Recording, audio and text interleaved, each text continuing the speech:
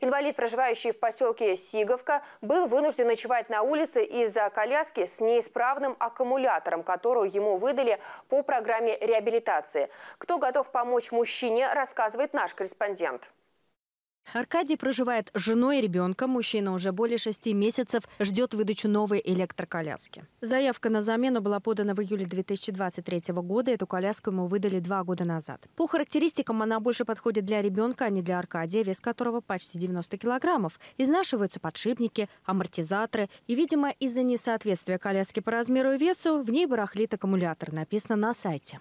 Раньше проблем с починкой или заменой у мужчины не возникало. Службы оперативно реагировали на обращение. Но сейчас без помощи жены Аркадий гулять не может. Народный фронт обратился в Министерство социальной защиты и Фонд социального страхования по Тверской области.